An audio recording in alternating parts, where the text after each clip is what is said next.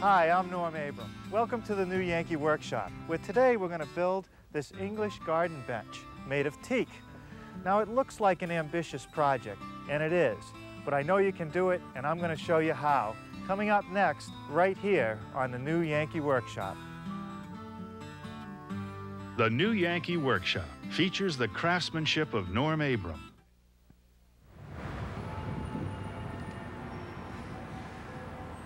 Well, I didn't have the nerve to wear my plaid shirt here in London, and as you can see, I left my tool belt back at the shop.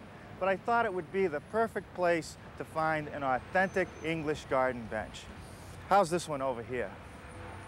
A perfect example. Originally, they were made from English oak, but when all those trees were cut down, they went to teak, a perfect choice in this damp English weather. now, if I can only find my tape measure, we could copy it. Before we get started, I'd like to reassure you that if you'd like to build an exact copy of today's project, that a measure drawing and a materials list are available. And you'll hear more about that before this program ends. Now I'd like to talk about shop safety. Be sure to read, understand, and follow all the safety rules that come with your tools. Knowing how to use your tools safely greatly reduces the possibility of personal injury. And remember this, there is no more important safety rule than to wear these safety glasses. Now I'll show you how I built today's project.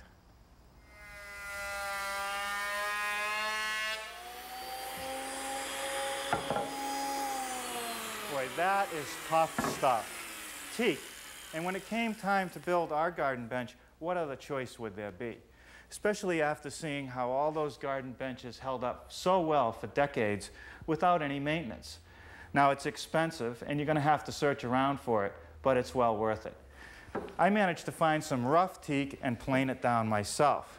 Now I learned a couple things about teak. It drills, saws, and sands beautifully. It's very predictable. But to plane it for thickness, it dulls planer blades quicker than you would believe.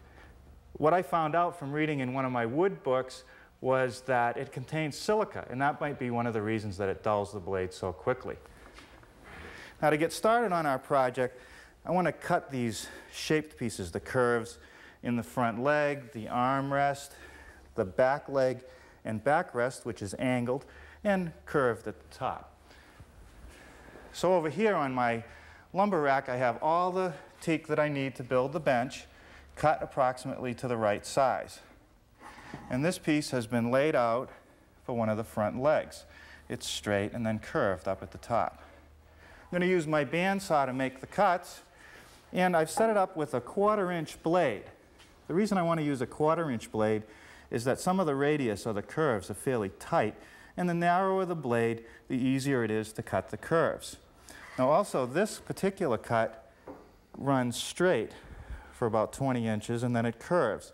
So I've set up a rip fence to cut the straight portion and when I reach the curve I'll slide the fence out of the way and finish the cut.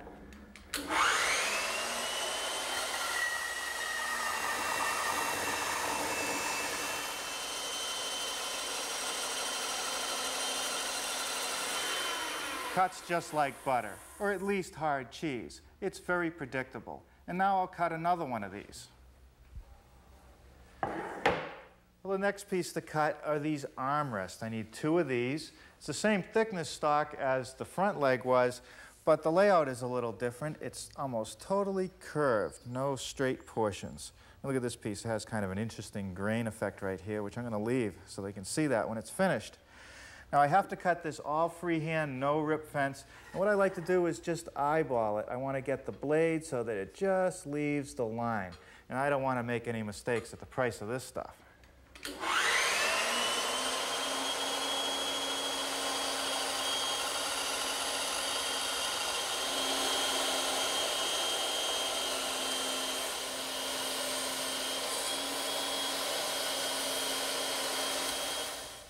The next piece to make is this back leg backrest piece.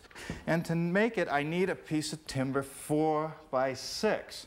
Now, for those of you concerned where this teak comes from, I've been assured by my supplier that it was plantation grown, specifically for making projects like this, not stripped from a rainforest. Now this piece has the angles and a curved top, and I can't really use my rip fence to help me, so I'm going to have to cut it all freehand. So I'm just going to take my time back at the bandsaw.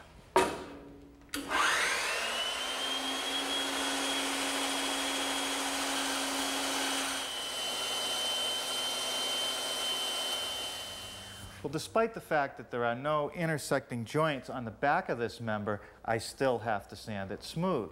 I can't use the jointer, but I can use my belt sander.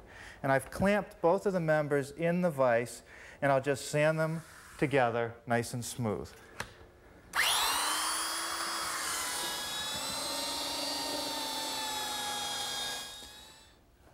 Right, both of those surfaces line up pretty well. And now to finish off any areas that I couldn't do on the jointer or the belt sander, like these curves, these tight curves, I'm going to use my drill press, which is outfitted with this little drum sander. And I've put some 100 grit paper on it.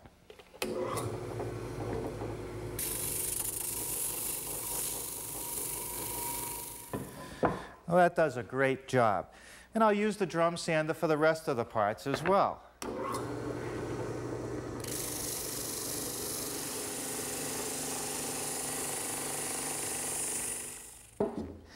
All the joinery on the bench is made with mortise and tenons. Here's a tenon, the corresponding mortise, and down here another mortise with the corresponding tenon. We choose this type of joinery because it's with a little bit of glue and some dowels, it's extremely strong. Now what I had to do first though was to lay out all the mortises very carefully on each piece following the plan and double checking them before I start to clean them out. Now to clean them out, I'm using my drill press set up with a 3 quarter inch Forstner bit, and that'll give me a nice flat bottom.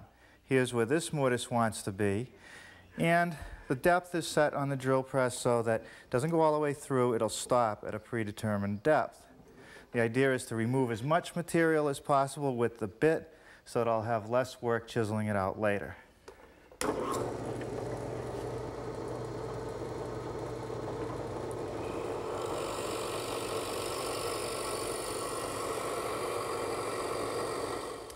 Well, now it's time for some handwork.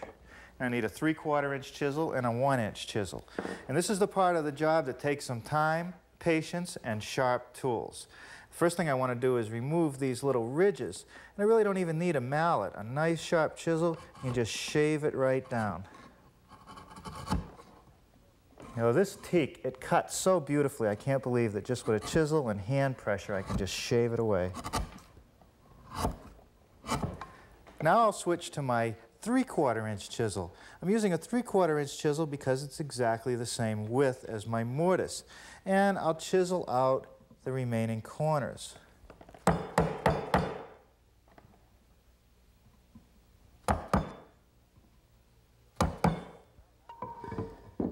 Well, that looks pretty good.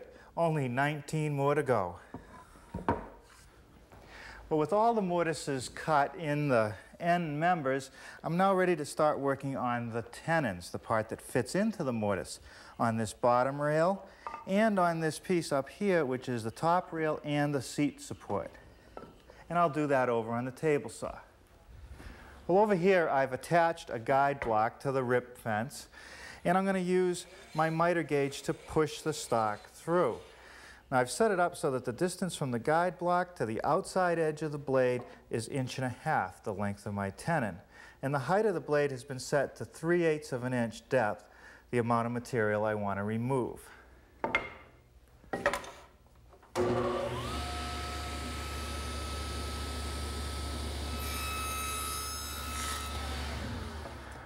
The next thing I want to do is make this shoulder cut right here. I don't have to change the fence, but I do have to lower the blade, and I'll use my prototype piece as a gauge. That should do it, and now I'll run all the pieces through.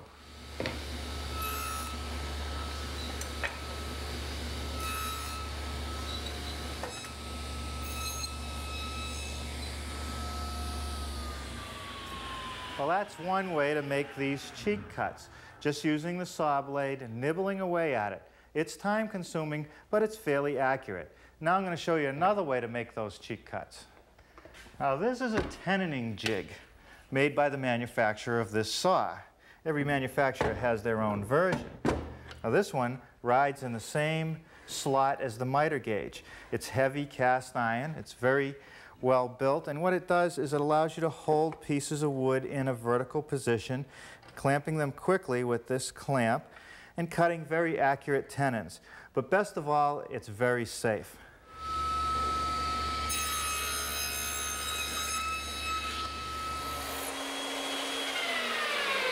I've just removed the material along the narrow side of the tenon. Now I could nibble that away or I could use a hand saw to remove the material, but the bandsaw is just quicker.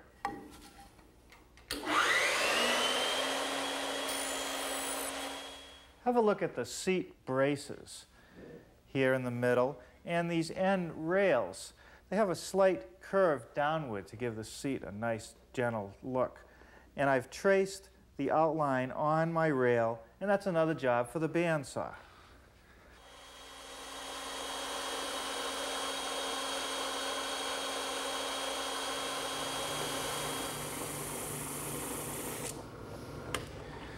That takes care of smoothing out that cut. Now I just want to dry fit the pieces together. This rail goes into that mortise. We take the front leg and that slips on here. Now there's a couple more tenons that I have to make. I need one at the top of the front leg and the mortise from the bottom of the armrest goes over that. And I need another tenon at the back of the armrest and that fits into this mortise on the back of the rest. Now to cut these, I could cut them with the bandsaw, I could cut them by hand, or I could cut them with the table saw. But since I have a radial arm, I've set it up with a dado head cutter to just nibble away the material.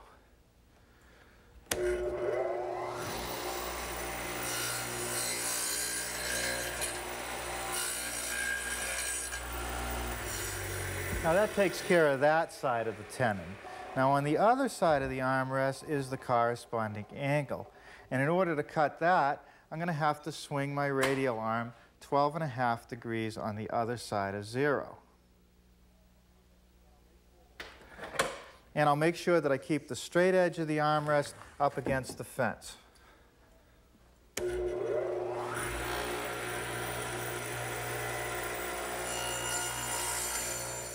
The tenon that's at the top of the front leg is cut the same way.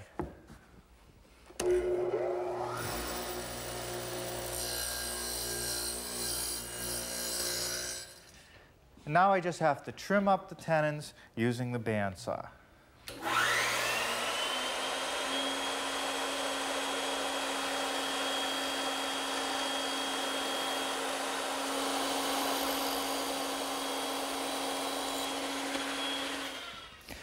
Let's look back at our prototype again. In some cases where the mortises are at the same height, they intersect one another and the tenons would hit each other unless I mitered them in the corners like this. So I'm going to use my power miter box to make that cut.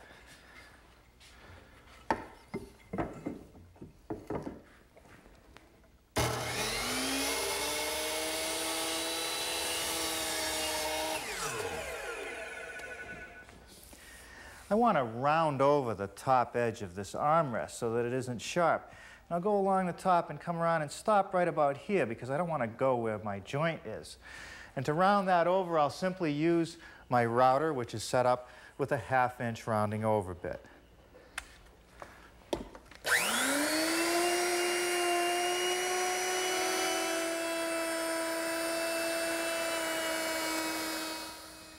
Before I start my assembly, I have mixed up some waterproof glue.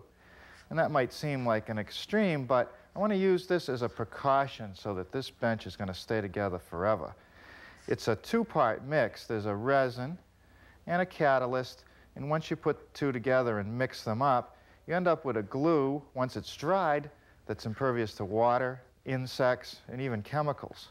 Now, it's a little messy, so you have to be careful using it. You can clean it up with water before it dries, and what you want to do is just use a brush and spread a little bit in the joints.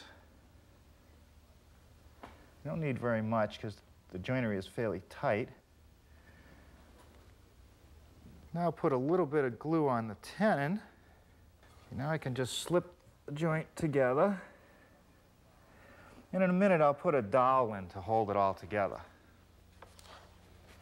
I'll wipe off any of that excess glue before it dries.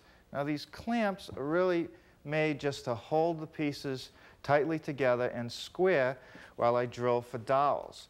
Now for those dowels, I'm going to use a 3 8 inch brad point bit and I've set up a collar here so I don't go all the way through the piece. I do want to go far enough through though so that I go through the tenon and into the other side of the mortise so it'll lock everything together.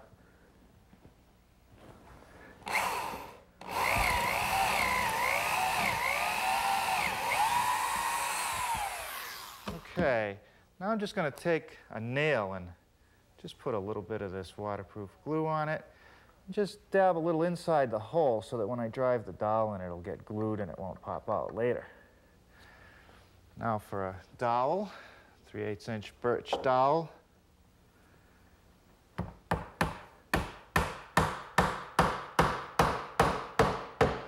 I'll trim the excess off later.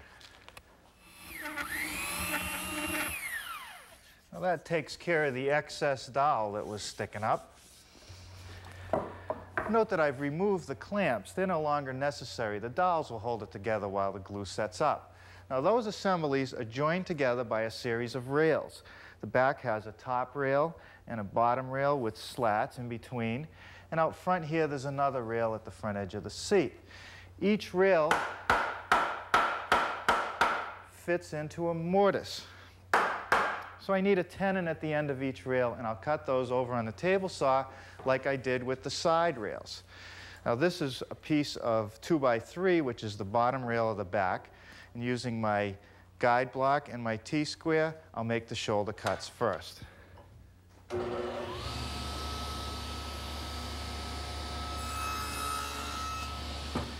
Well, I could finish off the tenon by nibbling it away, I suppose. But since I have enough height here in the shop, and I've got my tenoning jig, this is the way to do it.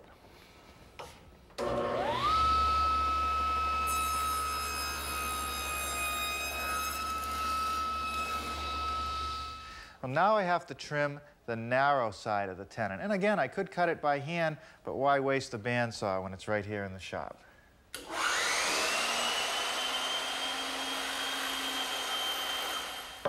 In order for this back rail to fit into this mortise correctly, I'm going to have to miter the corner so that it'll intersect the miter of the other tenon.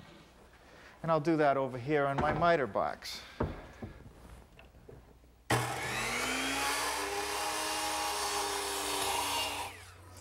Now these are the two back rails. And I've laid out a series of mortises into which these slats will fit. They just float in there. They're not attached with any mechanisms or glue. And I could drill them out and chisel them by hand like I did on the prototype, but I want to show you this attachment for my drill press. It's a mortising attachment, and it comes with this fence, and then there's a bracket here which holds the wood down so as you lift the chisel out, it doesn't lift up.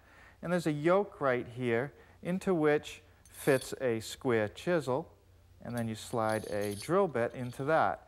And as the drill press pushes down, the drill will start the hole and the chisel will square it up.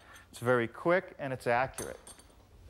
Now the first piece I want to work on is the top rail where the mortises go straight down.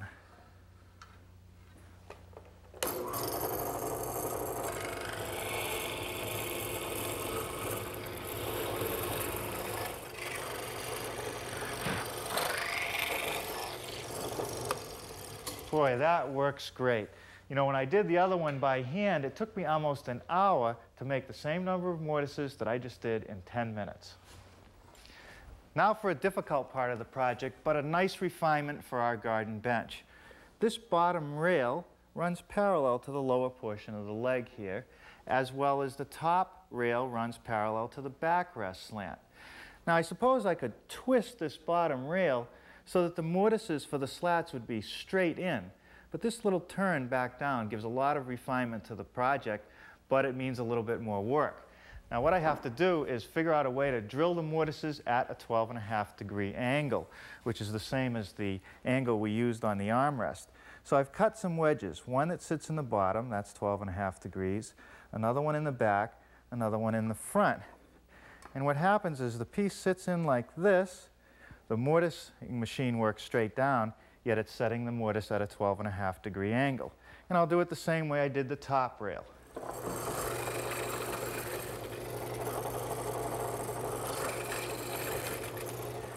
Now I just want to round over the top of this top rail along the back and the only thing I need to do that is a half inch round over bit set up in my router.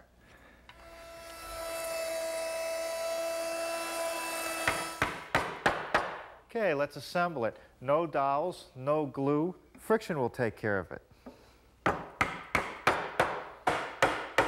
Well, this is a time you could use the help of 16 of your closest personal friends, one for every slat. But be patient, you'll get it all together.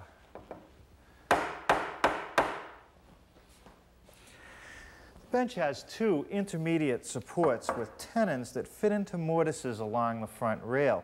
I'll cut that mortise next, and I'll use my drill press with the mortising attachment, except this time I won't use the fence, I'll just cut it freehand.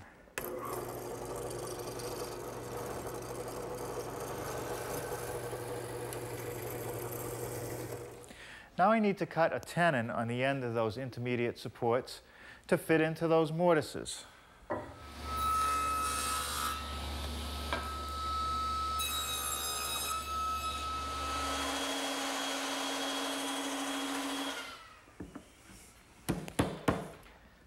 That's good. Now what I have to do is cut a notch in the other end of the piece where it meets the back rail, like this.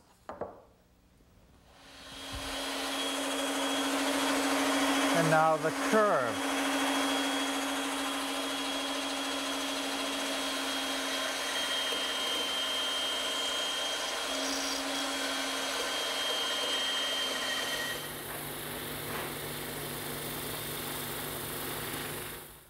Now it's time to assemble the bench. A little more waterproof glue on the tenons. I've already put some in the mortises. So now I should just be able to carefully slip these together and drive them down with my mallet.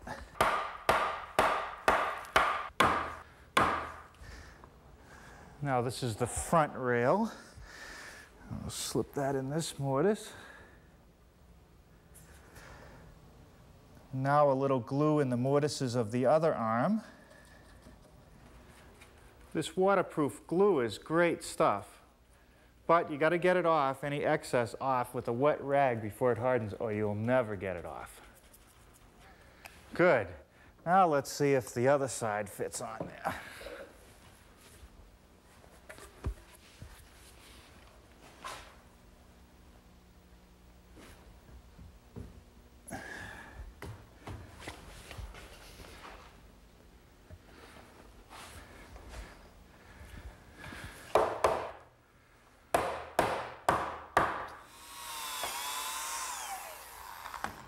As before, we'll pin it all together with some glue and some dowels.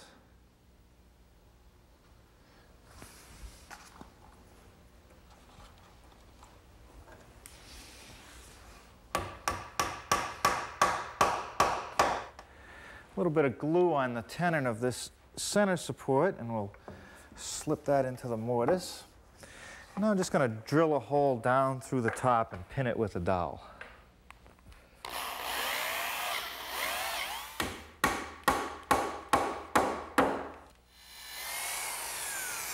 Now here on the bottom side, where only the chipmunks are going to see it, I think I'll fasten this member with a screw because it'll hold better.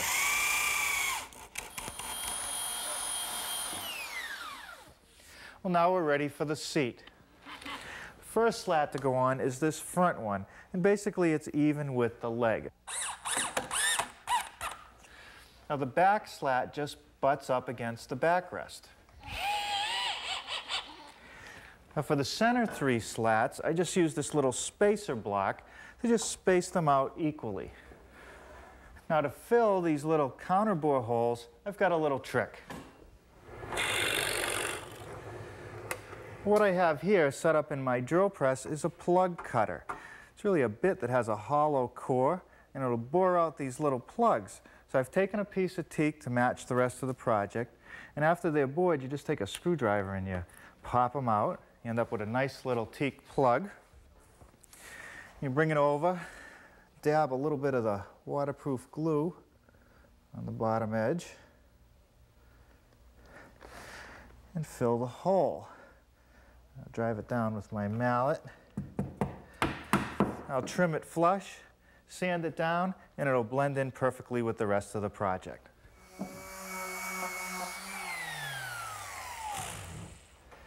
Well, there it is. I wonder what it'll look like out in the garden.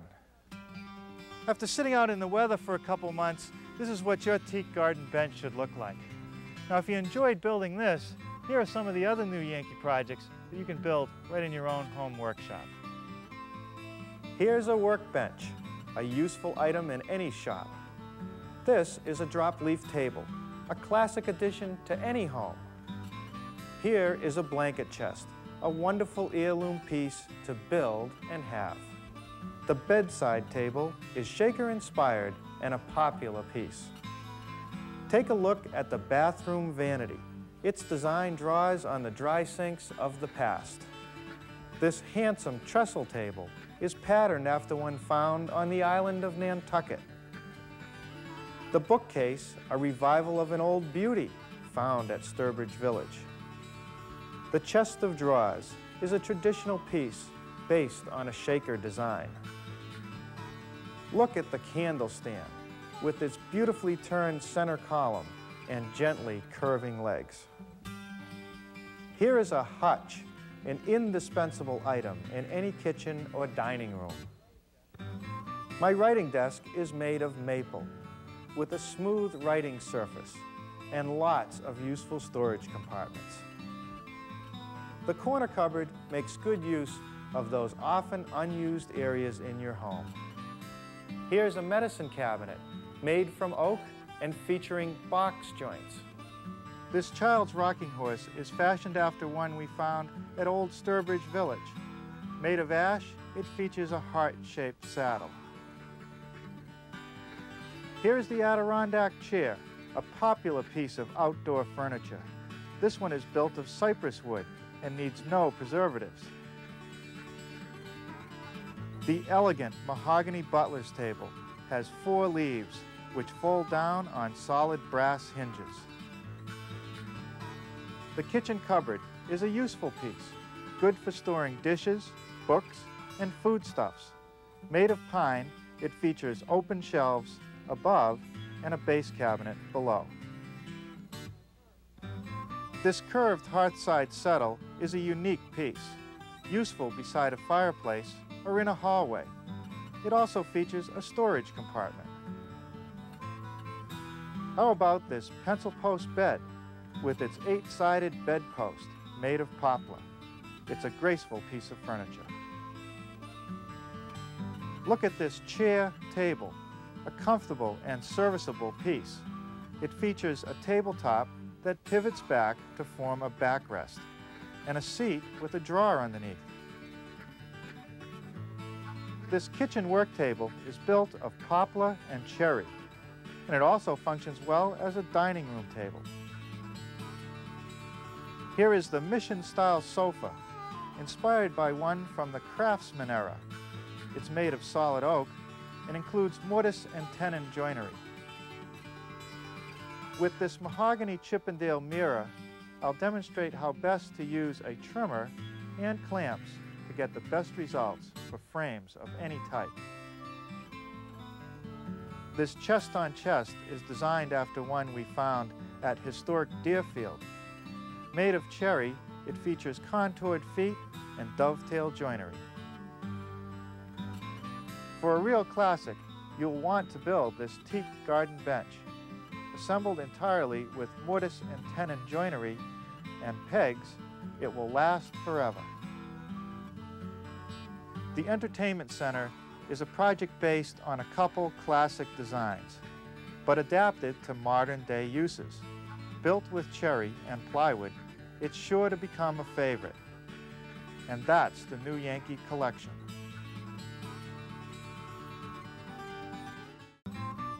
Norm Abram is the author of the book The New Yankee Workshop, which is available in bookstores and libraries nationwide.